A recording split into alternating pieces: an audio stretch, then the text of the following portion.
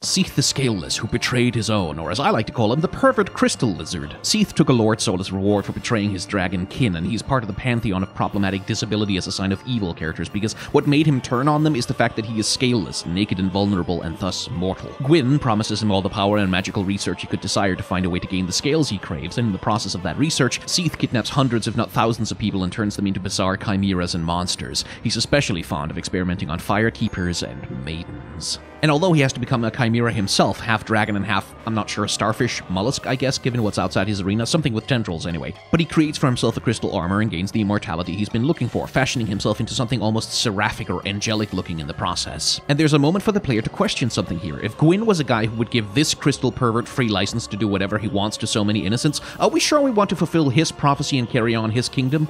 Food for thought.